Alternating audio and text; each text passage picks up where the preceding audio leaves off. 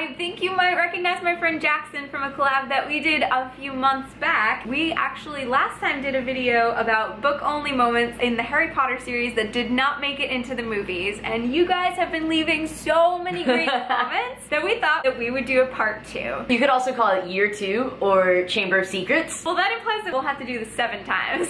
oh, didn't think about it. Maybe that. we will There's enough material for sure. During this video we're going to bring up some of the things that we forgot about last time and also some of the things that you guys suggested in the comments because there were so many good moments. Every time I read through those comments I'm just like laughing and excited. I want to like go back and reread the books again. So thank you guys for participating and again leave your favorite book only moments in the comments because that was I think one of my favorite parts of the last video. Oh yeah, totally. So before we get started, we have the same two disclaimers that we had last time. Mhm. Spoiler alert, if you've not read the Harry Potter books, uh, we're going to talk about things that happen in the Harry Potter books. And if you don't want to hear those, maybe you could watch the video that we made for Jackson's channel. We did another collab over there, but we'll tell you more about that at the end of the video. And the other disclaimer is we understand that the movies cannot be exactly the same as the books. So this is less of a complaint and more of a video about things that we love about the books that you just can't get from the movies. Yep. So where do you want to start? A bunch of people commented generally about Harry's sass. Yes. Sassy Harry in the books.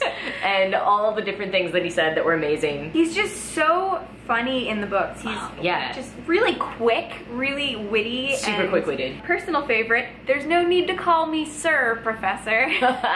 yeah, that shows how like totally anti-authoritarian he is, which rocks. so great, and he just has no fear when it comes to stuff like that, which is really impressive. Oh yeah. Then why is Roonil Wazlib written inside the front cover? Harry's heart skipped a beat. It's my nickname. that one kills me every time. Overall, what I love about the books is like the sense of humor and like the tone. And I think a lot of that really comes out with like Harry's quick-wittedness. I think when I've recommended the books to people too, which sounds so weird that there are like people who haven't read them, but when they do finally read them, that's the first thing they always tell me is like, whoa, I didn't realize these books were so funny. I think a lot of people miss them when they were younger. They don't even realize how much they would really appeal to them as an adult. Yeah. And so reminding them that there's a lot of substance there and also that they are just hilarious. Yeah. that comes up with me a lot too. Yeah, I mean J.K. Rowling is so funny just in Yeah. herself. She's a very funny person. In general, a lot of the characters lost their humor, like Ron. Ron Oh, yeah. so funny in the books. Professor McGonagall too is really funny and really just such a badass. Oh yeah. Have a biscuit, Potter. I mean, that one was also like it's funny when we talk about it now, but when you read it in the book, you're just like, oh yeah.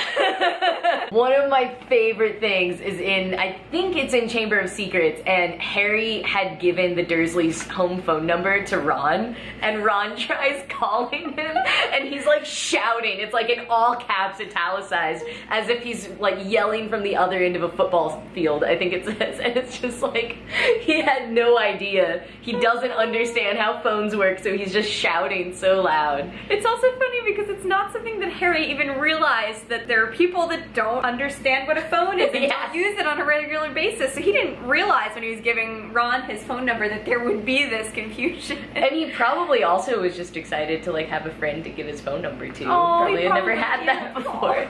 Oh. Also, as I said this, I realized that took place in 1992, historically. But so weird to think now that like they had a landline. Now it would just be Dursley's never gave him a cell phone. He wouldn't have Yeah. had. Yeah, it's interesting to think about. One that I noticed that a lot of you guys brought up in the comments was Harry and Ginny's relationship and the development of that relationship, which was severely lacking in the movies. Yeah, I like just especially remember in book five when they were staying at Grimmauld Place and how like that was when you really realized like, whoa, when did Ginny start kicking so much ass? Like she is so cool with her like that bogey hex. She like clearly expressed she was over Harry, or at least had matured to the point where like she wasn't, you know, kind of obsessed with him as a celebrity and wasn't super crushing on him. Like she had moved on. I think Harry remarked like, wow, like when did Ginny become so confident or something? And Hermione was like, when she realized she like was over you. it was like great. I loved that moment. So there's this really great moment where Harry's talking about how hard it was and how scary it was to have Voldemort take over his body and use it and how nobody understands what that could feel like and Ginny kind of scolds him and reminds him that that happened to her. when she was really young. He totally forgot and he wrote her off. And I think after that moment, he probably realized how much more he had in common with her. That moment was like so powerful just because it was her like super being like check your privilege and Yeah. also like really you're saying that to me like you don't even remember this he probably remembers that he saved her life but doesn't remember like what her experience was you know sharing that trauma and like no one else can know what the two of them experienced I think is a, a big part of like why they were together and like why they worked They can understand each other on a level that nobody else can. And Yeah. I think in the books it was really quite a bit more complex and beautiful. in the books Ginny is possibly my favorite character and in the movies I forget that she's there at all She isn't really So- there. yeah Growing up with Fred and George, you start to learn that anything's possible if you've got enough nerve. Really Oh. great, really great Ginny Weasley quote. A whole bunch of you guys pointed out the uh, great little conversation where Ginny's joking about Harry's tattoos. What was it like a roaring tiger or something across like his a chest Hungarian horntail, I think. Oh wow, even even better. Another thing that I always liked at the end of the books is they always ended with like Harry getting picked up at platform nine and three quarters. The Dursleys were always there, the Weasleys would be there. There's that one year that Mad Eye Moody and like Remus and stuff were there and they like threatened the Dursleys that like you better be nice to him. Would have loved to actually physically see the look on the faces of the Dursleys when they are hanging out on this platform with all these wizards. Yeah. waiting for this train to come in and clearly not fitting in and not even really wanting to be there. But the fact that they did go every year to pick Yeah. up is kind of hard to believe. almost. Yeah. I feel like they could have just as easily just said, figure out your own way home, dude. Mhm. Yeah. We're not going down there. Yeah. there were a lot of really good Luna Lovegood moments that you guys suggested in the comments, and she's my favorite character, so I was really happy to relive a whole bunch of those. Specifically, her giving Quidditch commentary. Ah.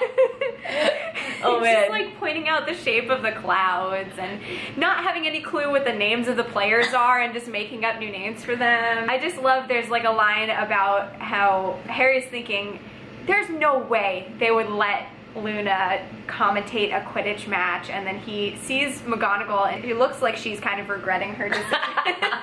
a lot of people brought up the artwork that Luna had in her bedroom. Yes, she painted all of her friends' faces on her Mhm. ceiling and then wrote the word friends over and over again, kind of intertwining them all together. In the series, Luna seems to really tiptoe around the idea that these are her friends because Mhm. people don't really understand her. She never really had people that she could truly call friends until Harry and Hermione and Ron and Ginny and Neville. And so I don't think they ever realized how important their friendship was to Luna until they were in her room and they saw that she had painted them in this beautiful mural. Luna is so wonderful. The more Luna, the better as, far as I'm concerned. I love all those little moments. Maybe we'll get some Luna in Fantastic Beasts and Where to Find Them.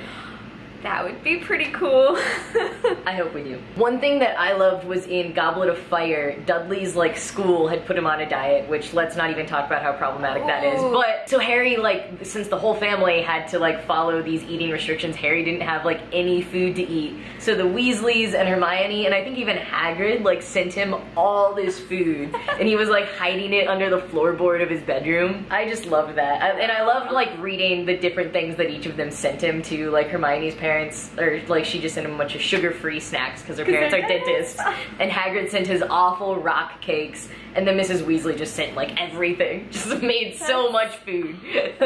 Sweet. I'm so glad that Harry found people to care about him Yeah. when he was away at Yeah, no school kidding. because he just did not have that at all at home. Did I ever tell you my parents are dentists? yes. Yeah. Yeah. I always forget about that too. it's kind of a weird thing that Harry Potter fans love to hear. It's like, wait a second, so you're like a real life Hermione. Another thing that a lot of people mentioned was Winky. yes. Winky's story was dark. Dobby always trying to cheer her up. Just Man. making it worse for her. Yep, Really, just yep. not helping. No, but so earnest. Aw. I love Winky. I love her storyline, and I also just loved getting to see the whole structure of like house elves and like hanging out in the kitchens at Hogwarts. In general, I think they couldn't really do a whole lot with the house elves in the movies No. because they were so expensive to animate, Yeah. which makes sense. So they only kept them in when they were absolutely necessary to the main plot. Oh man, another thing that I loved was when Harry was like hanging out with Florian Fortescue and getting free ice creams. all the time. And like Florian Fortescue was like helping him with his homework. I don't know. I just loved that. It just sounds like so fun at that age to like, that's just all you're doing. Free ice cream. I So loved great. that bit. A lot of you guys actually brought up in the comments the fight between Harry and Lupin during book seven, where Lupin has left his family and abandoned them. And Harry basically brings up the fact that he grew up without his parents, and that for Lupin to do that on purpose to his child is just horrible. That was so hard to read. One, because like they were fighting, and then you kind of understood like why Harry was doing it. Seeing Remus Lupin, who like you know you, was always presented to us as like such an upstanding guy and like such a good person, and to have that moment of like such a low for him was like really hard to read. The fact that Harry felt grown up and confident enough to point out to Lupin that he had made a mistake. This is somebody that Harry has mm-hmm. looked up to for a long time. He's like a father figure to Harry. Yeah. So for Harry to say to Lupin that he had made a huge mistake and he needs to really rethink this and go back to his family, probably a really hard thing for Harry to do. Yeah, Um, I know Harry had to do a lot of hard things Yeah. in, in Deathly Yeah, Hallows, sure. understatement, but I actually kind of thought that showed the most maturity of Yeah. anything that he did in Deathly Hallows was being able to do that. it's one thing to stand up to your enemies, but entirely another to stand up to your friends. Oh, that was. We learn a lot of things from these books. You're really good at just dropping the quotes. I Don't know if that was the exact wording. Quite regularly in the books, especially, you see these themes kind of coming up again and again. It really kind of is beautiful the way that they're illustrated time and time again as these kids grow up and as you see this story from beginning to end.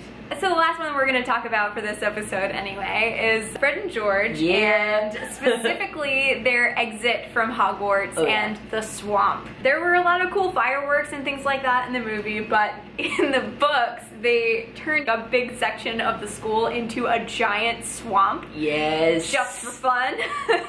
Mostly so that, that people would have to clean it up afterwards. Yeah, and wasn't it like all the professors pretended not to know how, and like Umbridge couldn't figure it out either? I think that all the other teachers also were secretly kind of impressed by this piece of magic. Like they're wondering, did we teach them how to do? How did they figure this out? and then of course the really great line, give her hell from us, Peeves, Yeah. which couldn't be in the movies because there's no Peeves. Right. Yeah, no, I remember reading that and just being like, that was great! And I know it's not gonna be in the movies because Peeves isn't in the movies. Yeah. but one more great Fred and George moment. yes. When Ron got his prefect badge and Mrs. Weasley's so excited and she says, well, that's everyone in the family. Fred says, what are George and I, next door neighbors?